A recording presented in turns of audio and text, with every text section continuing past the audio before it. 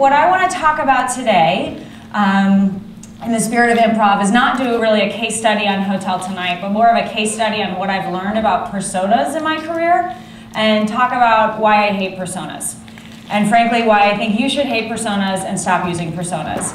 And I know this is radical, anti-Cooper U, anti inmates are running the asylum, but let me make my case as to how they have hurt my products in the past and how I think there's a better, uh, more creative approach to solving these problems. So let's level set. Personas today, I'm hoping that most of you know what a persona is. Hands up. Okay, great. Got a knowledgeable audience, I don't need to start there. So we've all seen these, right? We've got made up names of people that we know something about them. They're probably married and 32, right? Um, they're, uh, this one I found particularly fun, and you can't see it because of the resolution, but it actually has this person's Myers-Briggs profile, and it's not even a binary about whether they're an ENTJ. It's like they're slightly introverted. Um, Jane, I mean, how many, who's had a persona named Jane, right? Like everybody's had a persona named Jane. Um, this is fun. Brandy actually has quotes um, attached to her. And this one I found particularly interesting because, again, the resolution is a little tight, but um, on the right-hand side are 12 different personality characteristics. And even when we talk about lean and doing personas, I find them to be an incredible waste of time. And so why am I frustrated with personas? Ultimately, these are, to do them well, takes tens of hours. The amount of research and aggregation and content that needs to be gathered about who your users are, the, the, the foundational work to create a persona and do it well is extensive. And then you take all of these individuals and you average them into someone who's not real. You average them into someone with 2.4 kids. These are not real people, and so then you're building your product for the average that doesn't exist. On top of that, there are very few people who can actually be involved in the creation process. So what you spit out is a persona that has a fake average personality behind it that you're supposed to rally your whole company around, and everybody's supposed to care about Jane. But no one really knows or has empathy for Jane, and Jane doesn't really exist.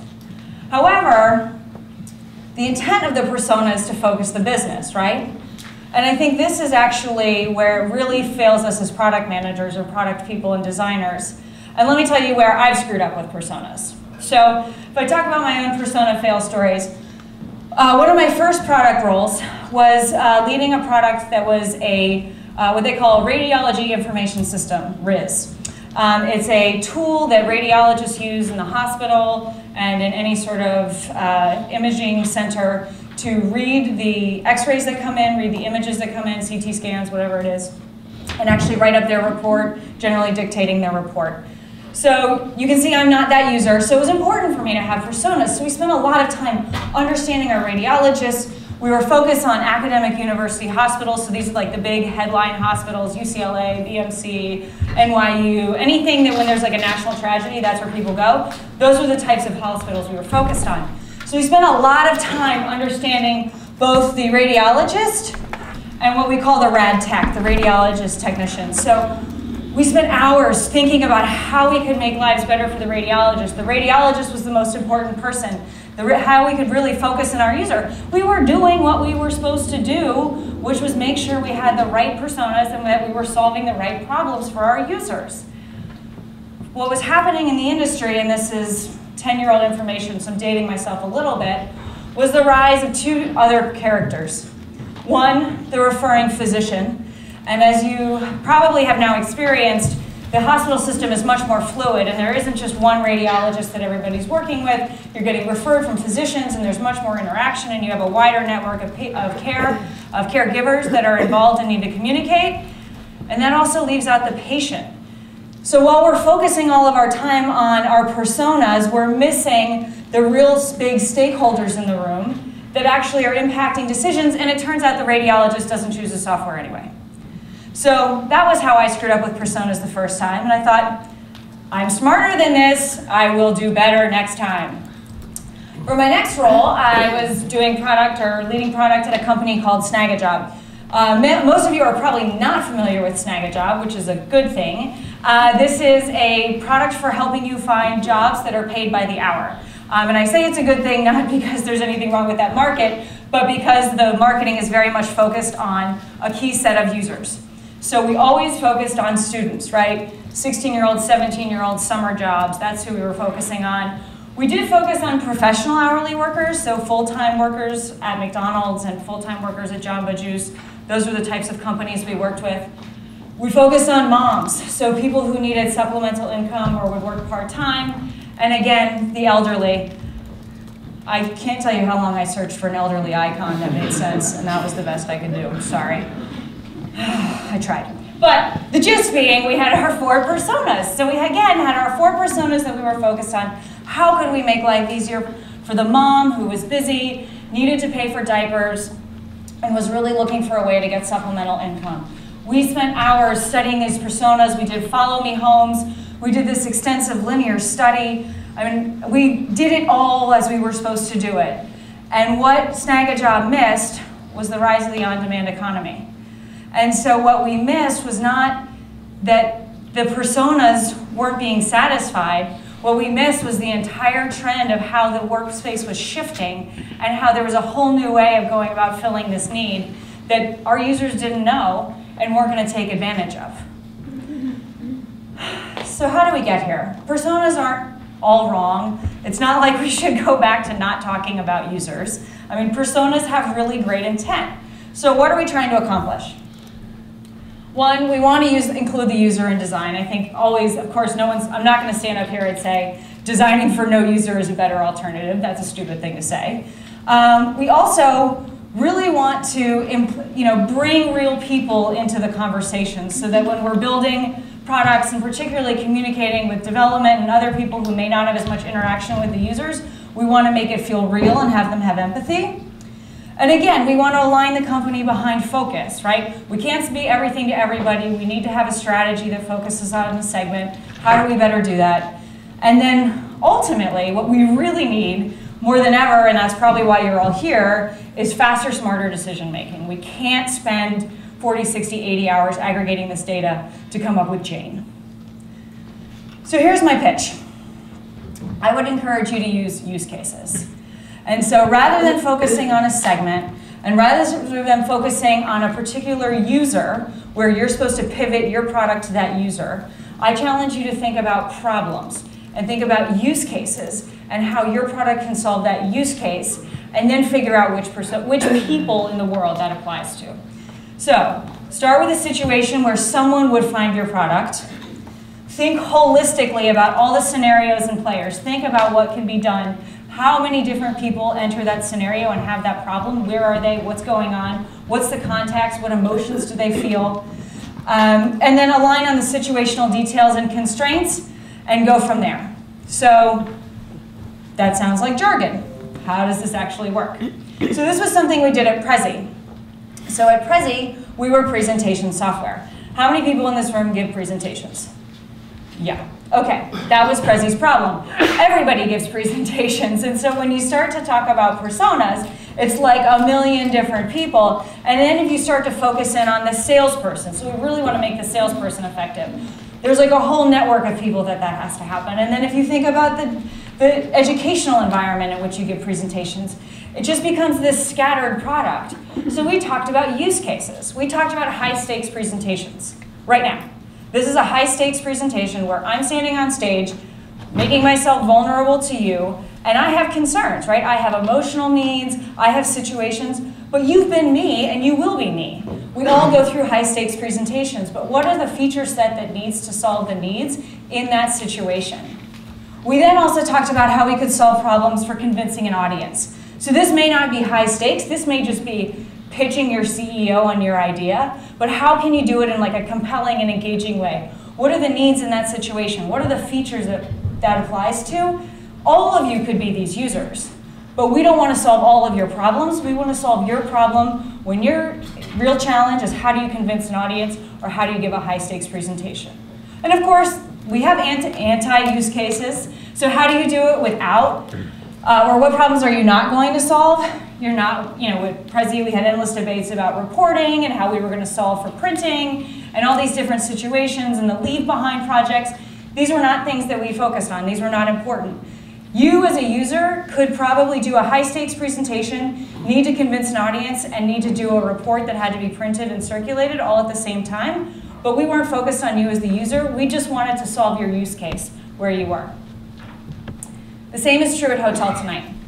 So at Hotel Tonight, for those who don't know, um, we are a last minute booking tool. We are mobile only. We are mobile not because it's trendy, though it is very trendy now.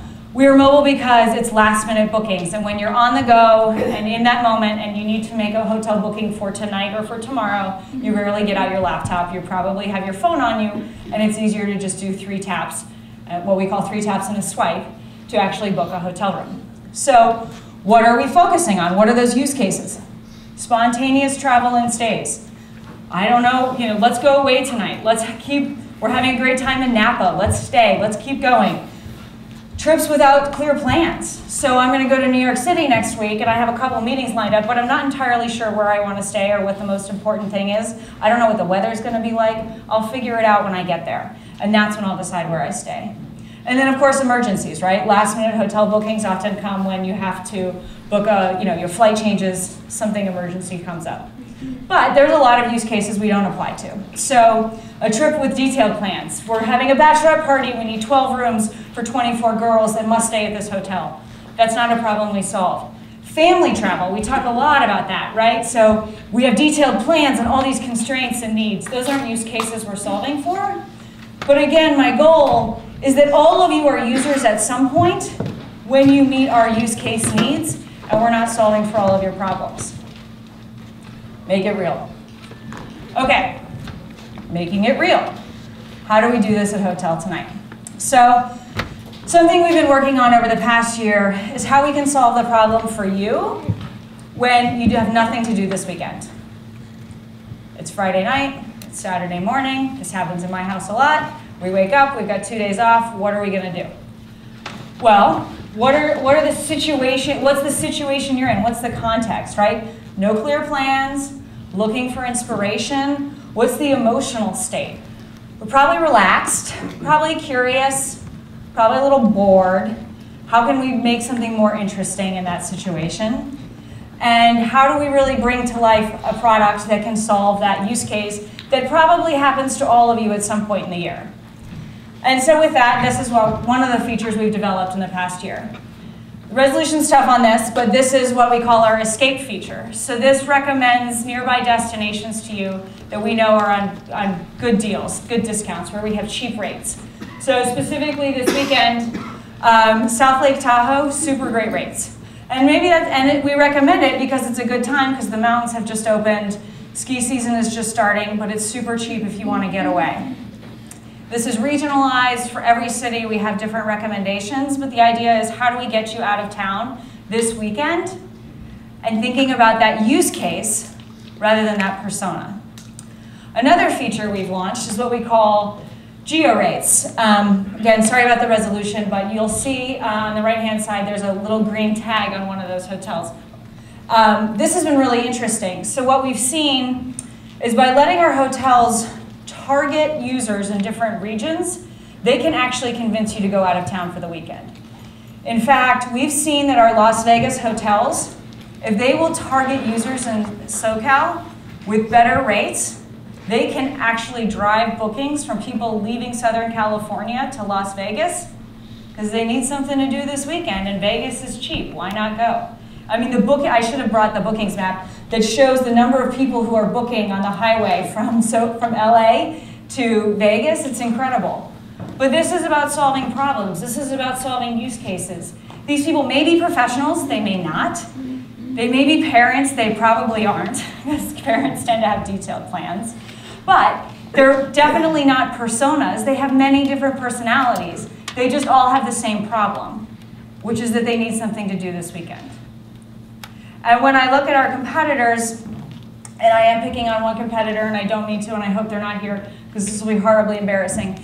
If we think about what, a, if, I, if I were to solve for a persona, a business traveler persona, for instance, and I think about all of the different use cases and needs a business persona would have, from helping with the executive assistant, to the expense reporting, to the, com the complete hotel experience, you end up with what is actually a beautiful design on a really complex product where you have to offer flights and hotels and car rentals and activities and wait, here are three hotels for you and here's what's going on nearby.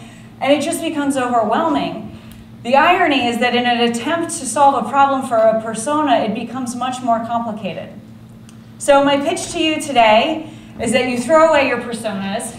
Please stop spending tens of hours gathering all of this incredible data to create Jane and start thinking about how you can research on the use cases and the problems and think widely about where you, who has those problems and how you can solve them.